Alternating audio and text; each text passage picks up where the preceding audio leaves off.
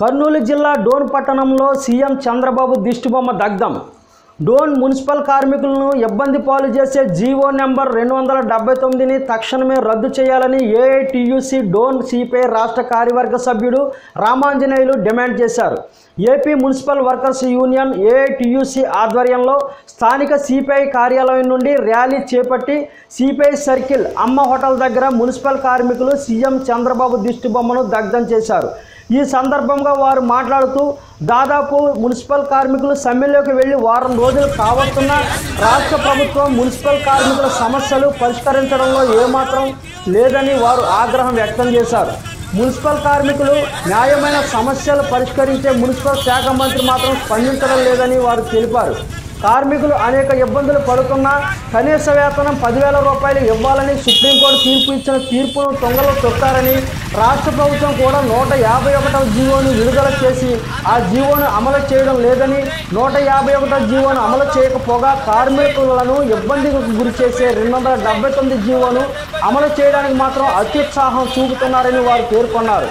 ఈ కార్యక్రమంలో AITUC municipal workers union నాయకులు అబ్బాస్ పుల్లయ్య నక్కి శ్రీకాంత్ శివ ప్రభాకర్ నాయుడు మాలతి సరళ రామంజనమ్మ రజియ తిరుపాలమ్మ యోహాను చంద్ర లక్ష్మీరెడ్డి తదితరులు పాల్గొన్నారు మున్సిపల్ కార్మికుల సమ్మె పట్ల రాష్ట్ర ప్రభుత్వం అండి వైఖరి మున్సిపల్ కార్మికుల సమ్మె పట్ల రాష్ట్ర ప్రభుత్వం నిర్లక్ష్య వైఖరి మున్సిపల్ కార్మికుల సమ్మె పట్ల రాష్ట్ర ప్రభుత్వం నిర్లక్ష్య వైఖరి జై టిఓసి జై టిఓసి జై టిఓసి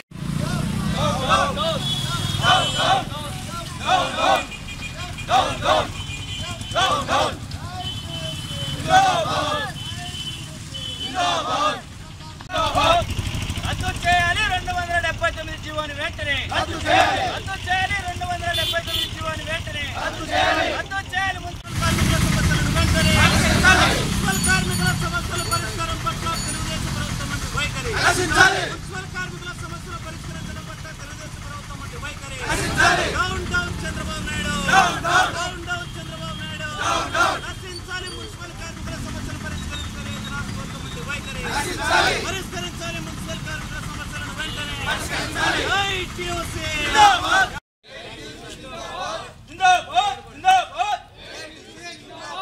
రద్దు చేయాలి రెండు వందల డెబ్బై తొమ్మిది జీవోని వెంటనే రద్దు చేయాలి రెండు వందల జీవో తొమ్మిది వెంటనే అమలు చేయాలి వన్ ఫిఫ్టీ వన్ జీవోని వెంటనే. అమలు చేయాలి. వన్ ఫిఫ్టీ జీవోని వెంటనే.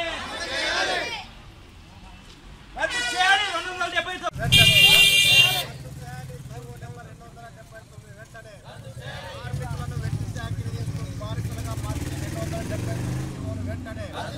కాంట్రాక్టర్లకు వత్తాసు కలుపుతున్నారు చంద్రబాబు నాయుడు డౌన్ డౌన్ కాంట్రాక్టర్లకు వత్తాసు కలుపుతున్నారు చంద్రబాబు నాయుడు కార్మిక్ కాంట్రాక్ట్ కార్మికులందరూ కూడా కనీస వేతనం పద్దెనిమిది వేల రూపాయలు. ఇవ్వాలి. పద్దెనిమిది వేల రూపాయలు. ఇవ్వాలి. పద్దెనిమిది వేల రూపాయలు.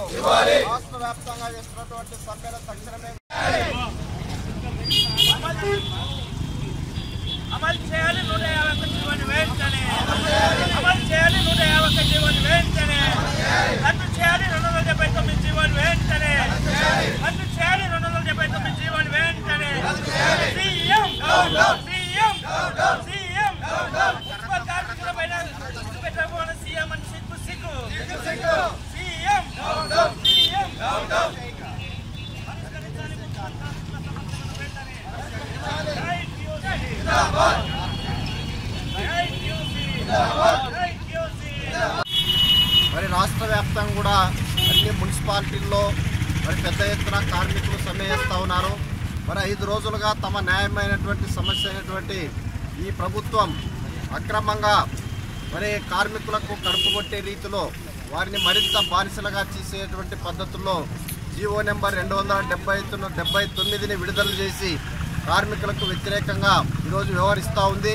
మరి ఇప్పటికే ఈ రాష్ట్రంలో ఉన్నటువంటి మున్సిపల్ అధికారులు మరి చెల్లిస్తున్నటువంటి రాష్ట్ర వ్యాప్తంగా ఈ ప్రభుత్వం చెల్లిస్తున్నటువంటి చాలించాని వేతనాలతో అధిక పని భారంతో ఈరోజు కార్మికులు ప్రతినిత్యం కూడా నగరాల్లో శుభ్రం చేస్తూ పట్టణాల్లో శుభ్రం చేస్తూ ప్రజల ఆరోగ్యాన్ని కాపాడుతున్నటువంటి కార్మికుల సమస్యలపైన ఏమాత్రం స్పందించడం లేదు.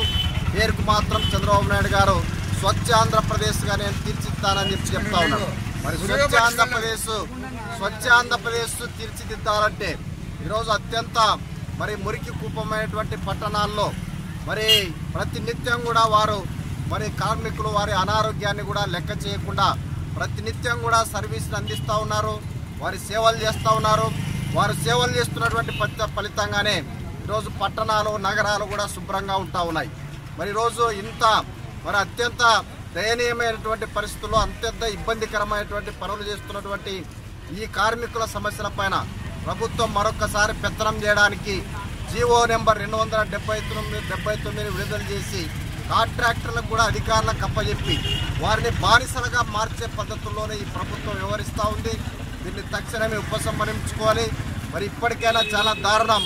చంద్రబాబు నాయుడు రాష్ట్ర వ్యాప్తంగా ఐదు రోజులుగా కార్మికులు ఆందోళన చేస్తున్నప్పటికీ నిరవధికంగా సమ్మె చేస్తున్నప్పటికీ ఏమాత్రం పట్టించుకోకపోవడం అనేది చాలా దారుణం. అందుకే తక్షణం రద్దు చేయాలి. ఆ రకంగా జీవోను రెండు వందల డెబ్బైతో రద్దు చేయడమే కాదు ఈ దేశంలో సుప్రీంకోర్టు అత్యున్నత న్యాయస్థానం ఇచ్చినటువంటి తీర్పు ప్రకారంగా కనీస వేతనం కాంట్రాక్ట్ రంగంలో పనిచేస్తున్నటువంటి ఉద్యోగులందరికీ కార్మికులందరికీ కూడా పద్దెనిమిది వేల రూపాయలు విధిగా అమలు చేసి ఆ రకంగా పెరుగుతున్నటువంటి ధరలకు అనుగుణంగా వారి కుటుంబాలు కూడా ఆర్థికంగా అంతో ఎంతో వారి ఇబ్బంది పడే లేకుండా ఆ రకంగా జీవించడానికి ఆ రకంగా ప్రజలకు సేవ చేయడానికి అవకాశం కల్పించాలని చెప్పేసి సందర్భంగా సిపిఐ తరఫున డిమాండ్ చేస్తూ ఉన్నాం. ఈ సమస్యను పరి పరిష్కరించకపోతే రానున్నటువంటి కాలంలో భారత కమ్యూనిస్ట్ పార్టీ మరి వామపక్ష పార్టీలు కూడా తీవ్రంగా ఆందోళనకు కోరుకుంటాయని చెప్పేసి సందర్భంగా మేము హెచ్చరిస్తా ఉన్నాం.